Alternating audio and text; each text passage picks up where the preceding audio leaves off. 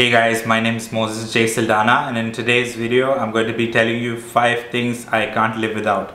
So this is something which is very small. It might seem silly to some people but this is basically a Navratna or I don't know if I'm pronouncing it right. So basically these are like 7 chakra stones so this is a bracelet that I wear most of the time. So I used to suffer from major anxiety before and this is something that really helps me when I go out. It uh, makes me feel calm at least. So I don't know if it's scientifically proven or whatever but this is something that I always have with me and is important to me anyways.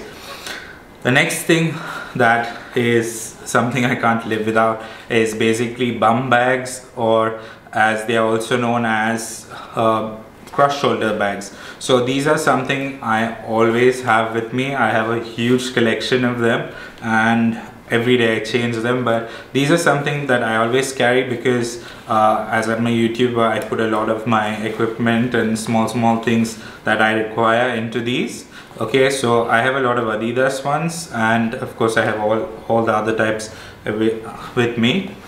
And then this is something which I have to have with me. You will see this with me at all times. So basically what this is is this is a little DJI uh, Pocket 2 okay? So this is a camera. Since I'm a YouTuber I always carry this with me. So let me just put it on. So look at that. How cool is that so let me just show you how small this gets. So as it's known as a pocket okay I just removed this. This is a mic basically uh, so you can carry this is for an external mic. But okay so look at how small this is.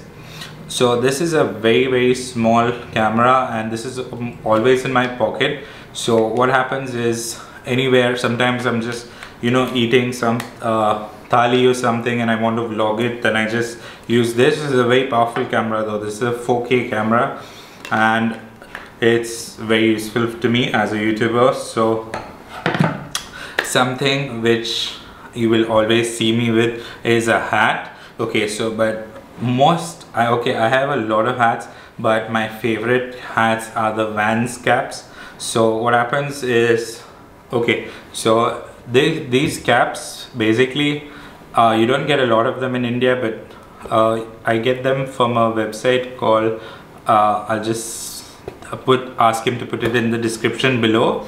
So if you can see there is sweat marks on it because I really love my Vans caps and I wear them a lot. Okay so I have most of the collection of Vans caps are I have them. So all the black ones at least.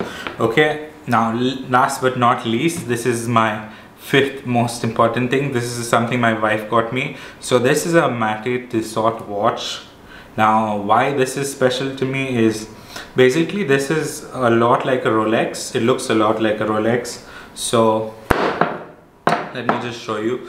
So this over here is okay let's just go closer. So this is very similar to a Rolex. This is an oyster dial. So it looks like those you know the oyster shining thing in the dial so this is a very important watch to me and it's a very interesting watch so anyway guys so this is my top five things that I can't live without. Thank you for watching. Please do like and subscribe.